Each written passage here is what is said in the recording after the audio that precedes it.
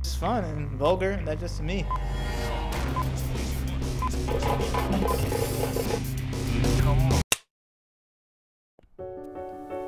Life.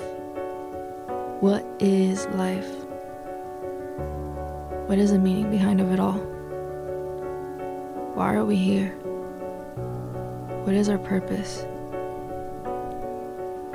Every day is a constant battle of existential crisis. Everything's the same thing, though, only with a different name. That's what life is again. What we don't realize is that life is very limited, and we take that for granted. We were put on this earth not to only live a good life, but to die a good death. Who cares if life consists of battles? Because after all, where there is hope, there is always trial.